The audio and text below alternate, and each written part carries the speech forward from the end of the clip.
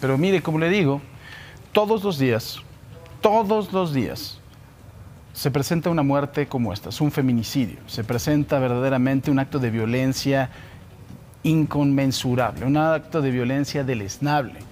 Y desgraciadamente, estos actos no tienen la promoción en las mismas redes sociales, no se les da el mismo eco, no tienen la misma resonancia. Y muchas veces hay mujeres que mueren en estas circunstancias y a nadie le importa. Ni a la Cámara de Diputados de estas señoras que gritaban y tal, y, vamos a ponerles penas más grandes, aunque hayan legislado del cuerno, el feminicidio, lo hicieron muy mal, pero a nadie le importa. Desde hace un año aquí estamos poniendo el dedo en la llaga.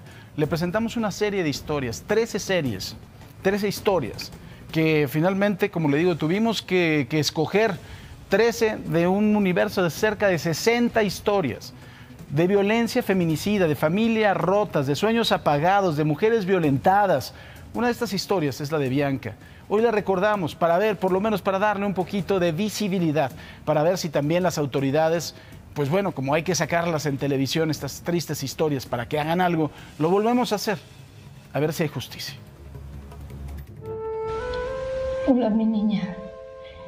Hoy un mes que te quitaron la vida, que te quitaron esas ganas de vivir y de luchar como tú lo demostrabas día a día. Bianca era hija única. Tenía 31 años. Con el apoyo de su mamá decide irse a vivir a España. Mi hija y yo éramos muy unidas, muy amigas. Ella se va este, muy joven, muy chiquita. Primero se fue a Barcelona, se fue con una conocida mía, ella al año y medio tuvo la residencia española por su tenacidad, por su capacidad y por su forma de trabajar y lo leal. Siempre tuvo una característica muy esencial, que es que, que la quisiera la gente, ¿no? Ella duró 10 años en España, allá conoció a un chico que se llama Alan y fue su único novio allá en España. Duraron nueve años. Bianca decide vivir en Playa del Carmen junto con su novio Alan. Ahí hace del CrossFit su pasión y una nueva familia. Son cuatro personas que ella conoció en el CrossFit, que es Mark, que era su coach, es Matías, que es el italiano, es Candelaria, una mulata, y esta Candelaria que le dicen Adi, que es la Rumi, la que le invita a su casa a vivir, a rentarle una habitación. El 21 de febrero del 2018, alrededor de las 10 de la noche, la mamá de Bianca recibe una llamada que cambiará para siempre su vida. Lo primero que escucha es que asaltaron a su hija y sufrió un golpe en la nariz. Una amiga de Bianca llama al 911 para pedir ayuda. Dice que está malherida y que entraron a robar al departamento donde viven. La mamá de Bianca viaja a Quintana Roo para ver qué había sucedido con su hija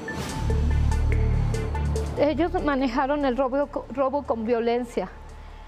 Bueno, ¿y qué robaron? Y me dicen la Mac.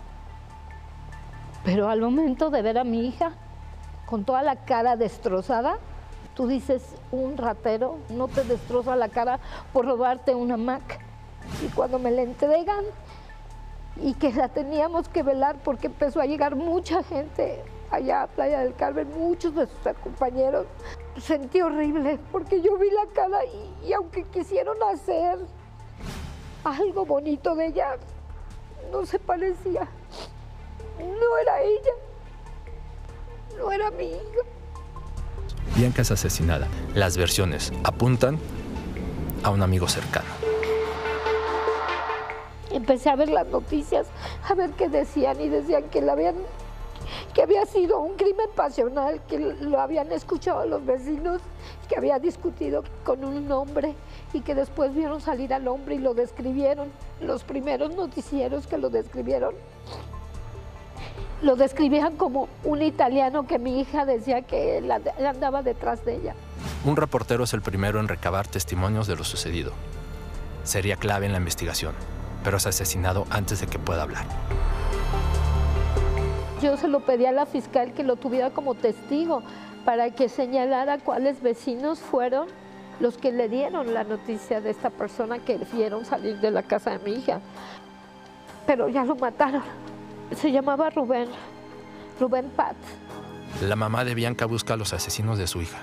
No cree en la versión del robo y tampoco en el crimen pasional. No quiere que el feminicidio quede impune.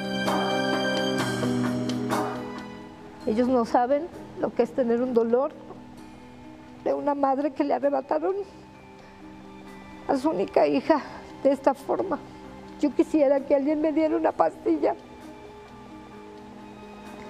para calmar mi dolor, pero no hay nada. Que la sigo amando. Y que no voy a descansar hasta encontrar a sus asesinos. Justicia para Bianca.